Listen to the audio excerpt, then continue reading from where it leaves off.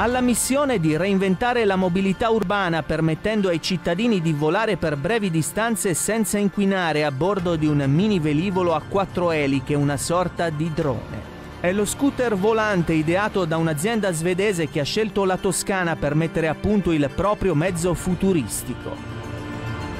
Nella zona di Laterina, in provincia di Arezzo, l'impresa scandinava, come riportato dalla Nazione, ha costruito un suo quartier generale che è sede della sezione ricerca e sviluppo e luogo dove i clienti potranno seguire anche una sorta di scuola guida.